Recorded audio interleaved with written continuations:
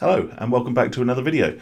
Now today I'm going to be looking at the best time to stop gambling. Now if you're watching this video you're likely to fall into one of two camps. Either you think you may be gambling a bit too much and you're wondering whether you should be concerned about your gambling and so you're thinking about cutting down or maybe even quitting gambling altogether. Alternatively, you may be someone who knows that you need to quit gambling as it's already maybe causing some problems in your life and you want to, to sort of take that action and, and, and quit gambling. Now, before we get on to the main topic of today's video, let me address the first group of people that I mentioned. And those are the ones that are maybe thinking they're gambling a little bit too much. Maybe they're concerned about the frequency of their gambling and thinking maybe they should sort of try and cut down a bit. Now, let me say this if you don't know whether to be concerned about your gambling, then the chances are that you should be concerned.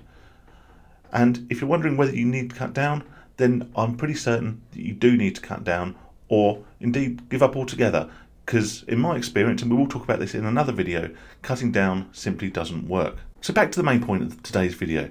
When exactly is the best time to finally draw a line under your gambling and say that enough is indeed enough?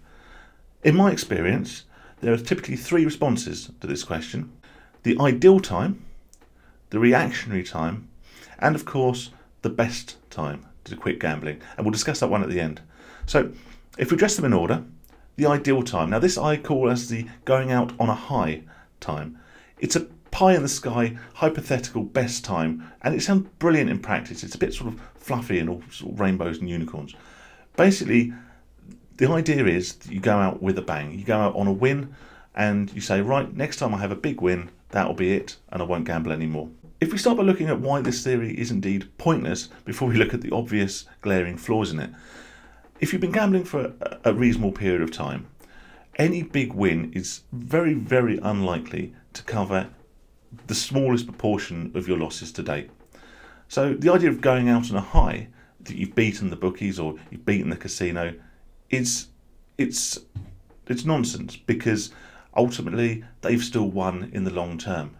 The biggest problem with this theory, of course, is that it simply doesn't work. We all know and we don't even need to be out there putting this into practice to know that the last thing you're going to want to do after a big win and that big rush of adrenaline, that big rush of dopamine, is quit. How many times have you had a win and rather than take a walk away with your big win, you've rounded it down or you've just tried to round it up to the next amount or you've gone back the next day and tried to replicate the win? As it happens, a big win is only likely to act as more of a catalyst to further gambling. So, yes, this sounds lovely in practice. It going out on a high sounds brilliant. It sounds like you've actually won a small victory against, like I say, whether it be the casinos or the bookies or whatever your choice of gambling establishment is. But ultimately, they've still won.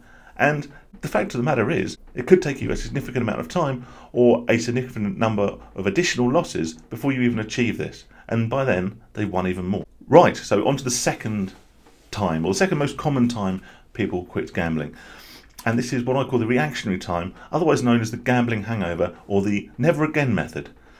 This is, I can almost guarantee, the most common time at which people say they're going to quit gambling, and this is generally after a big loss. What will happen is you'll suffer a big loss, you'll be quite angry with yourself that you've done it, particularly if you've been through this cycle before. This is why I call this the gambling hangover.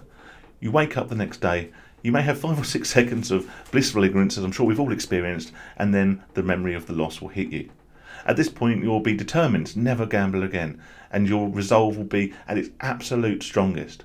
You feel like you're you never want to gamble again, and in most situations, you can't go out and gamble anyway because you're skin. So, in the very, very short term, this is by far and away the most effective way of stopping you from gambling. Not just because your resolve is at its strongest and that gambling is possibly the last thing on your mind, but also because you're likely to burnt through any resources you have with which to gamble further, so it's very, very easy to, in fact, refrain. The biggest problem with this method, of course, is that much like a traditional hangover, a gambling hangover will fade. And the memory of the pain that that, uh, that particular loss caused you will fade. And you'll start to have these thoughts of, well, maybe it wasn't so bad. Maybe that was a one off. Maybe that was just a particularly bit of bad bit of luck that I had. And you may go out, and you may go out with the best of intentions of, okay, well, I'll, I'll start gambling less, and you'll start reining it in. But we know very much how quickly that can snowball. The other way in which this relates to a traditional hangover is the slightly more dangerous hair of the dog. Now, obviously, hair of the dog with when you're drinking means going out the very next day and having a couple of beers, maybe to make yourself feel a little bit better when your head's pounding and your mouth's dry. The problem with this from a gambling perspective is a hair of the dog might involve chasing the previous day's losses. You may go out with the idea that, well, if I can just win half of it back, then I'll be happy, I'll be satisfied. Again, while this may be true, we, we know as gamblers that we're never, ever satisfied.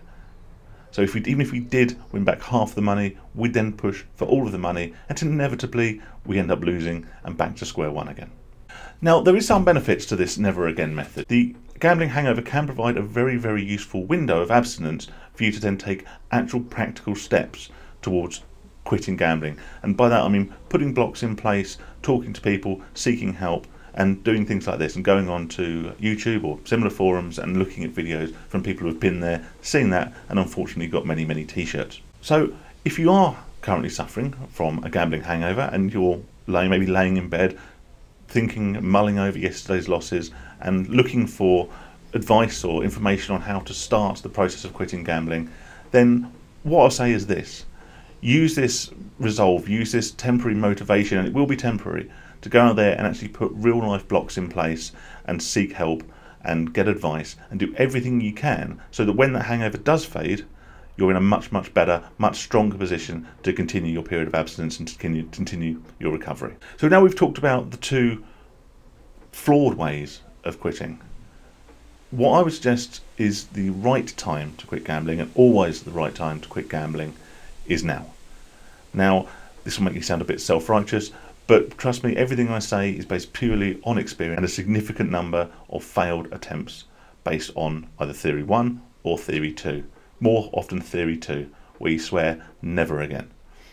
The only way to effectively quit gambling is to do it in the cold light of day when you're sober, you're not suffering from a dopamine rush, and you're not, you haven't been drinking or anything of that sort, and you do it practically and you do it logically but now is the time to do it. You're online, you're watching this video, so there are already steps you can take with a few clicks to help prevent you from gambling again. The very fact you're watching this video, to me, indicates that you know you need to stop, whether that be on a completely conscious or a subconscious level. So do it now. Don't put it off. Watch my other videos and I'll explain about some of the practical steps you can take to start quitting gambling. In the meantime, you seek advice, go to somewhere like GamCare, go to the GamStop website. If your problems are online, you can then block yourself from online casinos. So when this gambling hangover fades or this brief period of motivation to do something about your gambling subsides and the, uh, demons start creeping back in, tempting you to have another go, then there'll be something in place. It won't be impenetrable. There is nothing, there's no such thing as a watertight solution to stop you from gambling. But if you take steps now, then it, it might buy you that little bit more time, that little bit more thinking time next time the urges strike you. Anyway, thanks very much for watching this video today. Um, if you liked it, if you think it may be helpful, then please do subscribe. Um, I'm going to try and put some more videos up. It has been a bit of a while since my last one. And uh, yeah, I'll leave some links in the description for practical places you can go and get help right away. And uh, yeah, until next time anyway, I'll speak to you soon. Cheers.